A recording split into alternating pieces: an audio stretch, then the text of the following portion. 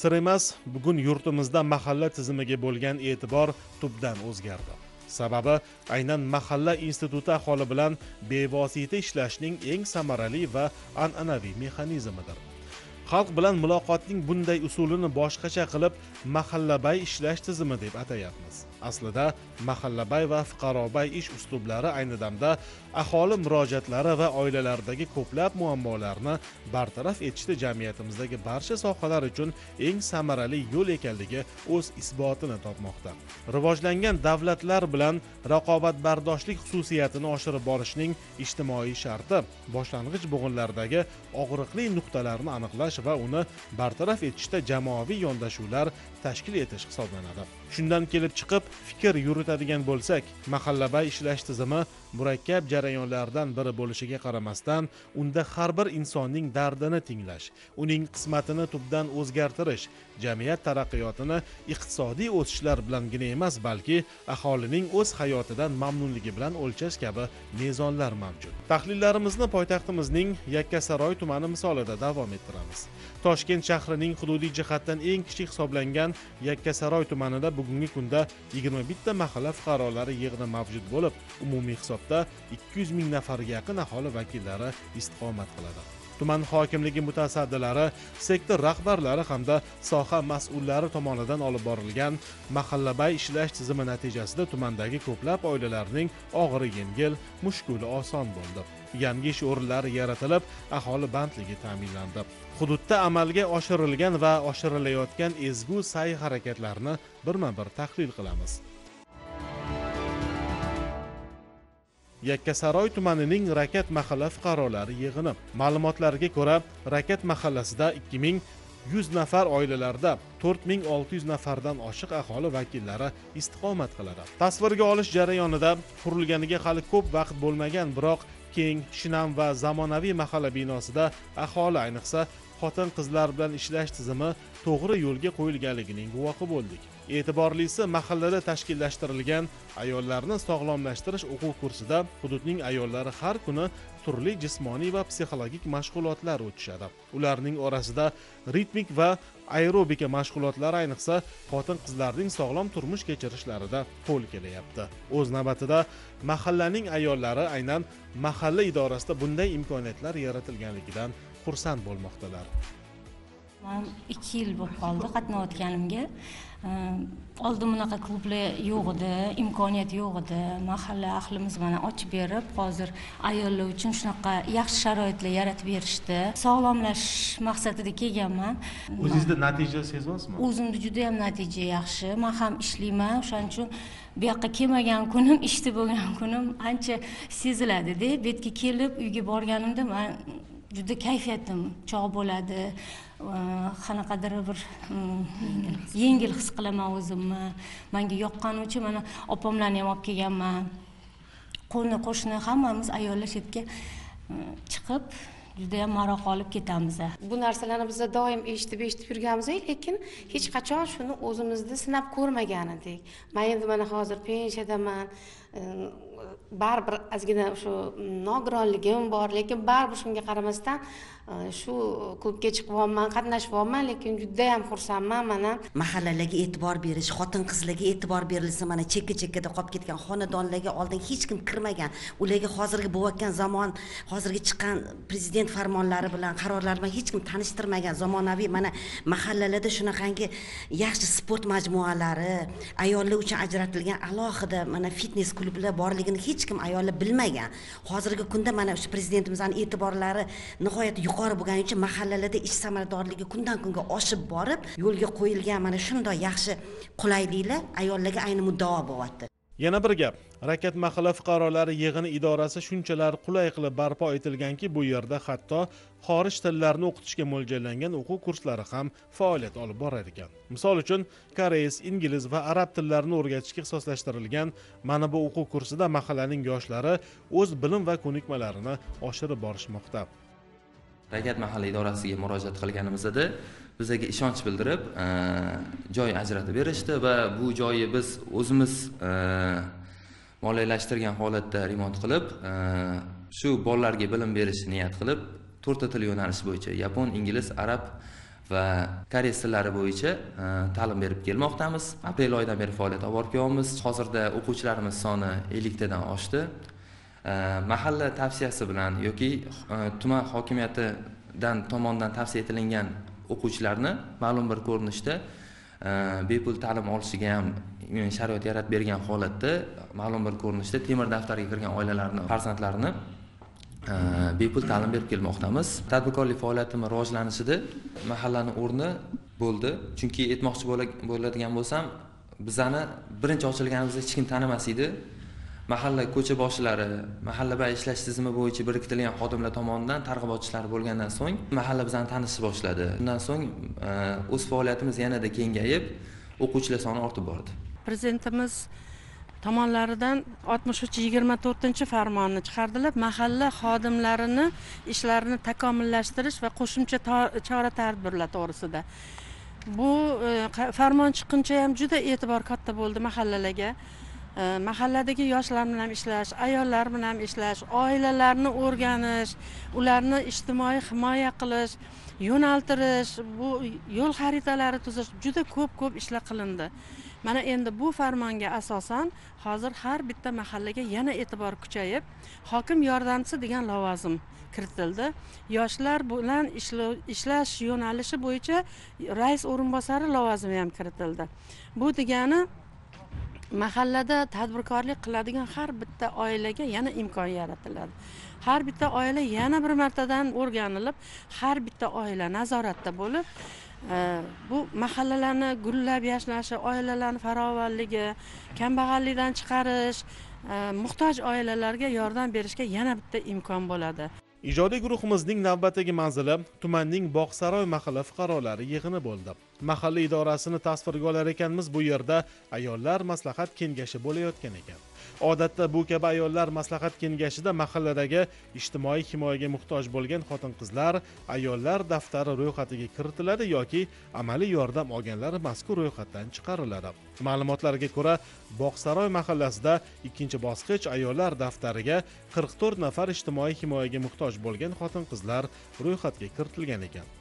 O'tgan vaqt mobaynida tuman hokimligi sektor rahbarlari hamda soha mas'ullari tomonidan ro'yxatdagi qirq to'rt nafar ayolga amaliy yordam ko'rsatilgan. Hozirgi ayollar maslahat kengashida esa yordam olgan xotin qizlarni ayollar daftari ro'yxatidan chiqarish jarayoni bo'lmoqda.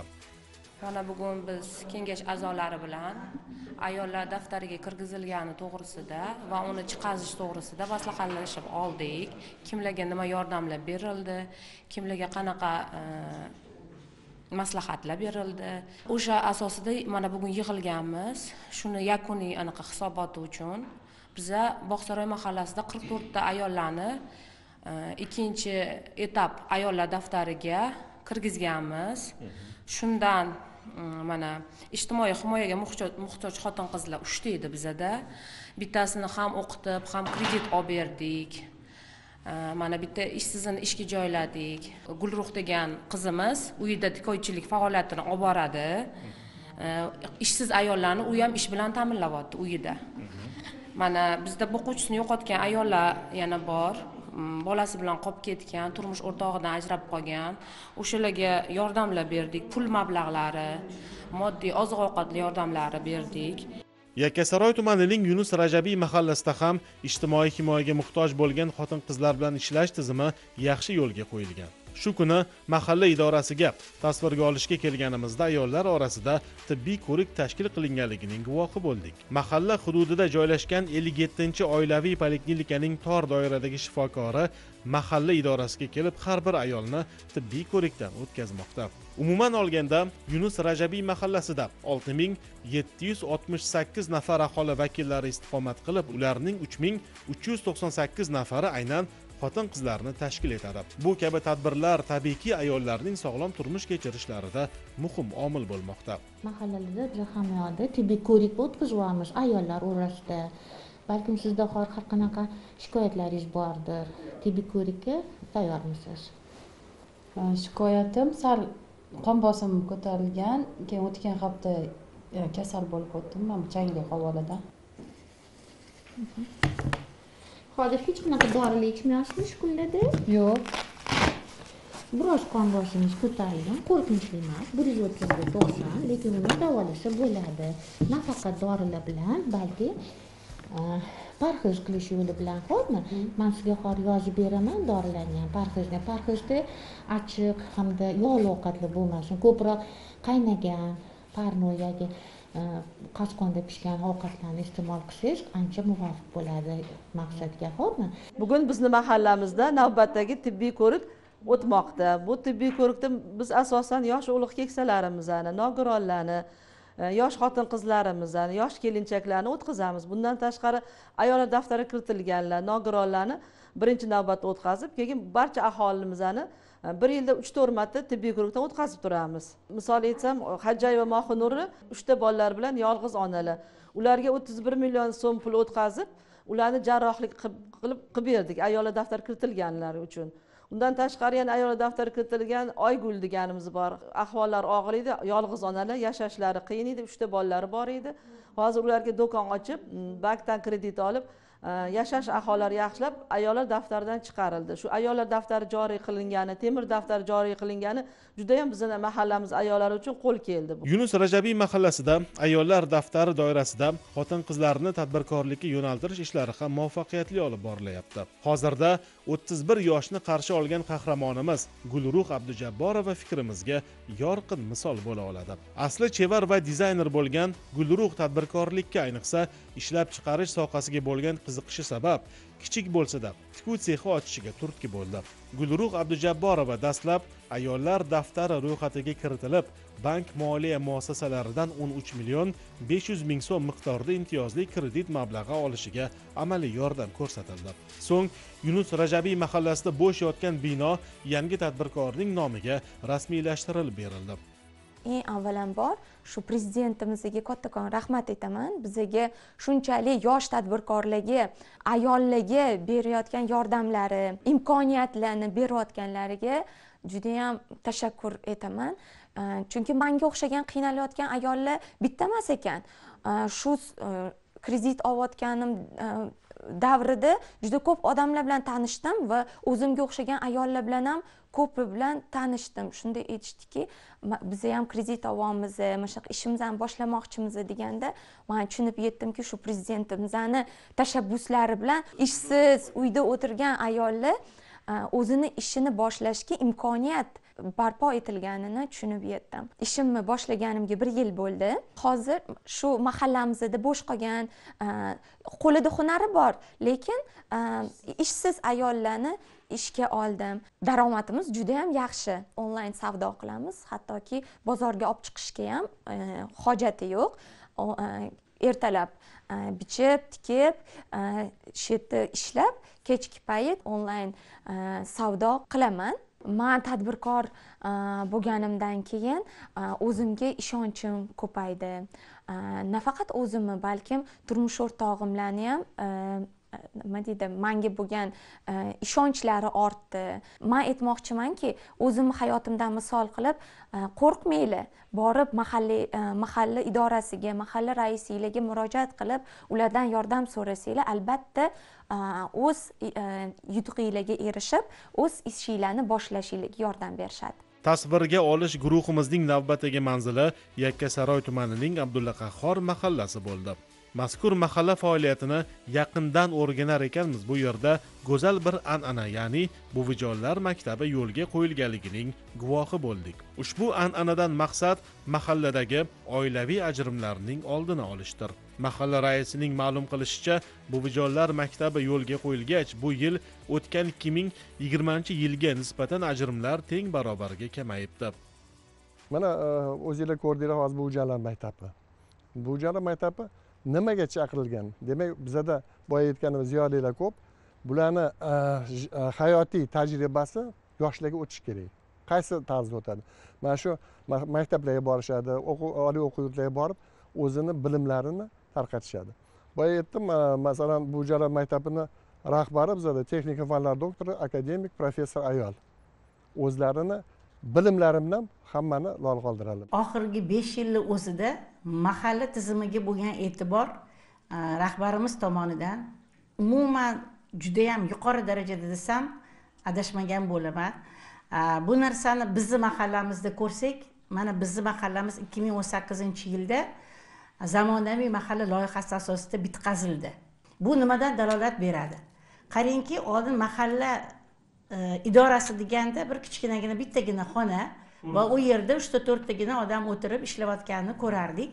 Haligi odamlar faqat shu nimaga kelardi? Odamlar faqat shu arizasini olib kelardi yoki bizga spravka beringdirdi ma'lumotnoma beringdirdi va e, qanaqadir arzimagan ishlar bilan shug'ullangan edi. Prezidentimiz mana shu yashnobod tumanida parvoz mahallasida har bitta mahallaga ikki milliarddan pul beraman deb aytganlari ham amalga oshib bugungi kunda bizni mahallamizda barcha e, deyarli deyarli barcha ko'chalarimiz asfalt qilindi. Bu necha yillardan beri bizni mahallamizni fuqarolarini aholisini orzusi edi. Bizni mahallaga ham asfalt kirib kelarmikin? O'ttiz bir qirq yigirma yildan beri kirib kelmagan deb. Bu ham bir mana shu tizimni takomillashtirishdan va obod mahalladan obod mana mahallabay tizimini amalga oshirilgandan yana bitta dalillardan bittasi. Prezidentimizni tashabbuslari bilan yana bir mana shu o'zgarishlardan bittasi mahallaga yoshlar bilan ishlash bo'yicha rais o'rinbosari lavozimi kiritilyapti. Bu bugungi kunda bo'lgan eng kerakli lavozimlardan bittasi chunki hozirgi kunda mahallamiz judayam ko'pchilikni tashkil etadi va ularni muammolari ko'p. Mana bizada hozir yoshlar daftari bor. Yoshlar daftariga kiritilgan har bir yoshimizni muammosini hal qilamiz. Buni biza qilardik masalan. Endi mahallaga rais o'rinbosari yoshlar bilan kelgandan keyin faqatgina o'sha E, masalan o'sha rais o'rinbosari yoshlar bilan shug'ullandi. Ya'ni ularni o'qishi ish bilan ta'minlanishi biror bir ish bilan band bo'lishi vaqtini bekor o'tkazmaslik kitobxonlik bilan shug'ullanishi masalan texnologiyalarni axborot texnologiyalarini ya'ni shu kompyuterlarni o'rganishi til o'rganishi. Ya'ni qaysi masalan shu mahallamizdagi yoshimizga nima kerakligini o'rganib chiqadi va u albatta bitta o'zi emas balki biz bilan birgalikda mana shu kengash bilan mahallani e, a'zolari bilan faollar bilan birgalikda amalga oshiriladi. Yana bitta quvonarli tomoni shuki e, raislarda masalan mahalla raisida moddiy tomondan qiyinchilik bo'lardi har doim. Bugungi kunda bu masalani ham hal qilib berishdi. Ya'ni mana shu bizga hokim yordamchisi degan lavozim ham kiritilyapti. Qarang bu hokim yordamchisi mana shu mahalladagi butun mana shu kambag'allikni qisqartirish undan tashqari tadbirkorlikni rivojlantirish ish o'rinlarini yaratish va mahallada bo'lgan barcha shu moddiy tomondan kerak bo'lgan tomonlarni hal qila oladigan hokim yordamchisi lavozimi kiritilyapti yakkasaroy tumani mahallalarida yashil makon umummilliy aksiyasi doirasida ham qator ishlar amalga oshirilyapti. Mahalla raislari o'zlari bosh bo'lib aholini daraxt ekishga ko'chat parvarishga chorlamoqdalar. Tasvirga olish guruhimiz hamid sulaymonov mahallasida bu kabi ezgu amallarga guvoh bo'ldi. Yashil makon umummilliy aksiyasi doirasida har bir hududlarda har bir mahallalarda ko'chatlar ekish daraxtlar ekish ommalashdi. Ushbu tadbir davomida har bir xonadonlarda saylgohlarda maydonlarda qolaversa shu mahallamiz yakkasaroy tumani hamid sulaymonov mahallasida ham shu o'zimizni hissamizni qo'shib daraxt ko'chatlarni ekib turibmiz. Umum hisobda mingdan ortiq ko'chatlar butalar ekdik. Yigirma birinchi asrda globallashuv zamonida ifloslanish juda ko'p. Shuning uchun qancha ko'p daraxt eksak o'zimizni nafasimizga o'zimizni sog'lig'imizga shuncha foyda bo'ladi.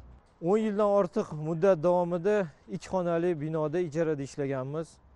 Sharoitimiz juda qiyin bo'lgan. Majlislar o'tkaza olmasdik aholini qiynab turgan masalalarini yoki ko'pchilik bilan kengash tomonidan hal qilinadigan masalalarni yig'ishda odamlar anaqasida juda qiynalardik. Islohotlar olib bora olmasdik. Mahallani shu yig'inlari juda qiyinchilik bilan o'tardi. Yangi mahalla binosiga ko'chib o'tganimizdan beri qancha bir qancha qulayliklarga ega bo'ldik. Xususan avvalambor shu unib o'sayotgan yoshlarimiz tez tez kelib turadigan mahallamizda ochilgan kutubxonalardan foydalanib turli adabiyotlardan nafaqat milliy jahon adabiyotlaridan ham foydalanib o'qishib tez tez qatnaydigan bo'lishdi. Bu yerda mahallamizda ingliz tili to'garaklar ochilgan. Shunga mahalla yoshlari kelib til o'rganib zamonaviy narsa texnologiyadan foydalanish kompyuterlar orqali shu yangi o'quv kurslarida ta'lim olishyapti. Tasvirga olish ishlarini tumanning qushbegi mahallasida olib bordik. Mahalla idorasi hududga yangi barpo etilgan zamonaviy mehmonxonada joylashgan ekan. Demak bu yerda mahalla idorasining yangiligi yoki ta'mirlanganlik darajasida biror muammo bo'lishi mumkin emas. Rais tomonidan olib borilayotgan islohotlar ham aholi tomonidan mamnuniyat bilan qabul qilinmoqda. Tasvirga olish kuni zamonaviy mahalla binosining majlislar zalida farzand tarbiyasi hamda oilaviy ajrimlarni oldini olish mavzularida maxsus seminar trening tashkil etilibdi. Eng muhimi ushbu seminar treningni maxsus ixtisoslikka ega bo'lgan psixolog pedagoglar olib borishmoqda. Avvallari mahallada komissiya ishtirokida ko'rib chiqilsa ajrim hozirda psixologlar jalb qilingan holatda yakka tartibda suhbatlar asosida yangicha usulda olib borilmoqda. Ya'ni interfaol usulda e, ular bilan o'sha qiziqarli mashqlar orqali o'sha psixologlarni o'zlarini yo'nalishlari bo'yicha olib borilmoqda. Bu olib borilgan ishlar natijasida avvalgi yillarga qaraganda mahallada ajrim holatlari kamaydi. Avvallari yarashtirish komissiyasi orqali muhokama qilingan bo'lsa hozirda e, seminar treninglar ko'rinishida psixologlarni jalb qilgan holatda o'tkazilmoqda. Bu o'sha oiladagi er va xotinni e, ruhiyatiga yetib borish o'sha oila muqaddasligini e, tushuntirish o'sha oilaviy vazifalarni e, to'liq tushunib shu mm, oila muqaddasligini his qilishgacha yetib bormoqda. Mahallamizni toshkent shahri bo'yicha namunali deb e'tirof etildi. Bunda o'sha aholini bandligini ta'minlash temir daftardagi turgan ijtimoiy himoyaga muhtoj oilalarga yordam ko'rsatish ayollar daftarida turgan ayollarga e, to'qqizta yo'nalish bo'yicha yordam ko'rsatish yoshlar daftarida turgan yoshlarga kredit ajratish subsidiyalar ajratish ayollar bandligini ta'minlash ularga e, oilada muammosi bor ayollarga psixologik huquqiy yordamlar ko'rsatish shular orqali reyting e, reyting baholash natijasida toshkent shahar bo'yicha ko'rsatkichimiz yuqori deb e'tirof etildi. Hamda toshkent shahar hokimligini e, esdalik sovg'alari bilan taqdirlandik. Ijodiy guruhimizning yakkasaroy tumanida so'nggi manzili damariq mahallasi bo'ldi. Bir jihatni alohida ta'kidlash kerakki yurtimizda mahalla tizimiga berilayotgan e'tibor va ko'rsatilayotgan g'amxo'rlikni barchasini aynan damariq mahallasi faoliyatida ko'rishimiz mumkin. Mahalla idorasida joylashgan elektron kutubxona ayniqsa e'tiborimizni tortdi. Bu yerda mingga yaqin elektron kitoblar mavjudki ijtimoiy tarmoq orqali kitoblarni istalgan vaqtda istalgan joyda mutolaa qilishingiz mumkin. Shuningdek mahalla idorasida xotin qizlarning bandligini ta'minlash yo'nalishida ham e'tirofga arzigulik ishlar amalga oshirilibdi. Damariq mahalla idorasining ikkinchi qavatida tikuv sexi tashkil qilinganki bu yerda hududdagi mehnat bilan band bo'lmagan ayollar ishli bo'lishdi. Natijada oilalariga doimiy ravishda daromad ham kirib bormoqda. Hozirgi kunda o'n nafardan ko'p bo'lgan ayollarimiz ishsiz e, mana shu tikuv sexida o'z faoliyatlarini amalga oshirib kelishmoqda. Bizada bir qavatli bino bo'lgan mana ikki ming yigirma birinchi yilda sentyabr oyida ikki qavatli bino bo'lib hozir mana ikkinchi qavatida bemalol tikuv sexiga sharoitimiz bor. Axborot texnologiya vazirligi tomonidan bizaga bir uchta tikuv moshinasi zamonaviy rusumdagi tikuv moshinasi berildi. Ayol kishi band bo'lsa oila tinch va xotirjam bo'ladi. Man endi to'qsoninchi yildan beri mahallalarda ishlaganim uchun man taqqoslashim mumkin. Oxirgi mana besh yil ichida ko'p o'zgarishlar bo'ldi bugungi kunda. Prezidentimiz tomonidan qilayotgan islohotlar mahallaga ham ta'sir qildi. Chunki bugungi kunda mahalla o'sha e, turar joyi asosiy negizlardan bittasi bo'lib qolishga to'g'ri kelyapti. Nimaga deganda har bitta odam mahallada tug'iladi demak mahallaga ahamiyat juda katta bo'lishi kerak. E, oldingi paytlarda mahallani masalan bizada e, ko'p odamlar mahalla qayerdaligini bilmasdi. Har bitta o'zlarini chiqishlarida ham hurmatli prezidentim mahalladan boshlaydilar. Nimaga? Demak mahalla kelajakda. Hokimni vakili bo'lishi kerak bu yerda. Mahalla oqsoqoli. Mana shunga olib kelinyapti o'zinglar bilasizlar bir paytda mahalla oqsoqolida bitta o'rinbosar bo'lardi u ham jamoatchilik asosida hozir uchta bo'ldi. To'rtinchisini qilishyapti undan tashqari mana yaqinda biz konkurs o'tkazdik. E, hokim e, yordamchisi lavozimiga. Demak e, bu nima deyilyapti? Mahalladan demak ko'p mahalla oqsoqolini ishini sal kamaytirish bo'yicha. Bu yoqqa iqtisodchi kelyapti. Iqtisodchi ham E, tajribali e, undan tashqari bu o'ziga e, rahbarlik lavozimida ishlab kelgan odam bo'lyapti. Demak har bitta masalani mahallada yechish imkoniyatiga ega bo'ladi. Kim o'ylabdi mana qachon bank kelib e, mahallada o'zini faoliyatini boshlagan? Unaqa bo'lmagan u odamlar bankka borib ochib qilib yordam olarmidi subsidiya olarmidi kredit olarmidi? Yo'q edi. Hozir banklar o'zi kelyaptiyu. Undan tashqari prezidentimiz qarori bilan har bitta mahallaga vazirlik boylangan. Vazirlik ham o'zini ishini qanaqa qilyapti demak o'zini qanaqadir yordamini e, tashlab ketish kerak. Bizga masalan innovatsiya vazirligi bo- bunaqa qilgan. Ular bizada axborot texnologiya e, markazlarini ochishmoqchi. U yerda yoshlarni o'qitishmoqchi bular. Prezidentimiz nima deyaptilar? Mahalla raisi borib bir narsani so'rash kerak emas hamma rahbarlardan. Mahallaga kelish kerak rahbarlar deyaptilar. O'zi kelib masalan mahalla bemalol chaqira oladi bugun bugungi kunda shunaqa bizada. Mana mana kecha bizada sayyor qabul bo'ldi. Xalq qabulxonasini vakillari raislari kelib e, rahbarlari kelib bizani fuqarolar bilan muloqot o'tkazdilar. Bemalol kelib butun o'zligisini muammolarini gapirishdi ular yozib olib masalan mutasaddi tashkilotga tarqataman va shu sayyor qabulga o'sha suvsozdan ham tashgazdan ham barcha vakillardan e, rahbarlar qatnashdi. Bu ham katta gap. Masalan oldin bizni mahallani raisi chaqirsa kimdir kelolmasligi mumkin edi ha o'zinglar kelinglar deb aytishardi hozir mahallani raisi man masalan o'zim rais sifatida E, tumanimizdagi e, e, kerak bo'lgan tashkilotga murojaat qilib rahbari bilan bizani fuqarolarimiz uchrashuv o'tkazmoqchi savollar bor desak ular albatta vaqtini so'rab iloji boricha o'zlari ishtirok etishadi. Mahalla raisi mana shu hududini hokimi bo'lishi kerak. Manimcha shu mahallaga bironta bir masala mahalla raisiz hal bo'linmasligi kerak. Masalan bizani mahalladagi o'sha rais aynan mahallaga nima kerakligini bilish kerak. Va albatta agar bu narsani bilolmasangiz va o'zingizga nisbatan e, mana shu narsalarni qilolmasangiz mahalla raisi bo'lish ham judayam mas'uliyatli ishda va bu narsa bugungi kunda e, o'zini tasdig'ini topadi deb o'ylayman. Xulosa o'rnida aytganda mahallabay ishlash tizimi natijasida aholining ko'plab muammo va masalalari hal etilmoqda. Pirovardida oilalar mustahkamlanib ro'zg'orlar but bo'layapti. Obod mahalla yurt tayanchidir.